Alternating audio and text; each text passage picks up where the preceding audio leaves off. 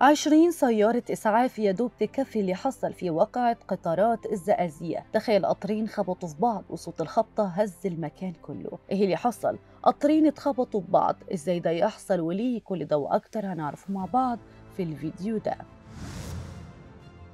النهاردة الزقازيق في الشرقية كانت على موعد مع واحدة من أكبر الوقائع الصعبة اللي حصلت في الفترة الأخيرة. العيون كلها على الزقازيق دلوقتي. قطرين خبطوا في بعض ومحدش لسه فاهم إزاي حصل ده. الواقعة كانت قدام الكوبري الجديد في منطقة اسم تاني الزقازيق. مشهد صعب جدا. صوت سيارات الإسعاف مغطي على كل حاجة. الناس في المكان مش مصدقة اللي حصل لحد دلوقتي. المعلومات اللي عندنا قليلة مش معروف بالظبط القطرين كانوا فين قبل ما يخبطوا. هل كانوا ماشيين وش في وش وحصل اللي حصل ولا القطرين كانوا على نفس الخط وواحد منهم كانت سرعته عالية. ولحق التاني من وراه كلها تخمينات لكن الحقيقة هتطلع أكيد لما التحريات تظهر والمعلومات الصحيحة تبان.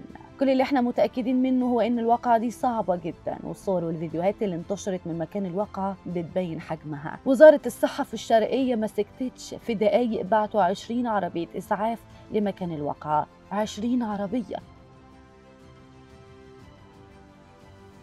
الرقم ده يقول لك قد إيه الواقعة كبيرة. سيارات الإسعاف كانت بتحاول توصل بسرعة لإنقاذ الناس واللي شاف المشهد بيقول إن الشوارع كانت مليانة عربيات والناس حوالين المكان كتير جدا. الواقعة دي أكيد هتأثر على كل اللي شافها سواء في الشوارع أو على السوشيال ميديا. وأول ما الصور والفيديوهات نزلت على الإنترنت الدنيا كلها اتقلبت. الفيديوهات كانت صعبة جدا القطرين فيهم أجزاء كتير باظت وعربيات الإسعاف بتتنقل بسرعة ما بين المصابين والناس بتحاول تساعد اللي تقدر عليه. منظر ما يتنسيش أبدا خاصة إن اللي حصل في لحظات وبدون أي إنذار. الموقف لسه مش واضح لحد اللحظة ما فيش تأكيد على عدد اللي انتهت حياتهم أو المصابين. كل اللي نعرفه إن الواقعة كانت أكبر من أي حاجة حصلت في مصر خلال الفترة دي. البعض بيقول إن في ناس راحت في الواقعة دي لكن العدد الحقيقي لسه محدش يعرفه والأرقام بتتغير كل شوية مع وصول معلومات جديدة. اللي بيزيد من صعوبة الموقف هو إنه لسه ما فيش تفسير واضح للواقعة هل كان في خطأ بشري؟ مشكلة في الإشارات؟ هل كان في حاجة غلط في القطارات؟ كل دي أسئلة بتدور في دماغ الناس والإجابات لسه مش واضحة. التحريات شغالة والمعلومات الرسمية هتطلع قريب لكن في الوقت الحالي كل اللي الناس عاوزاه هما إنه يعرفوا إزاي الواقعة دي حصلت.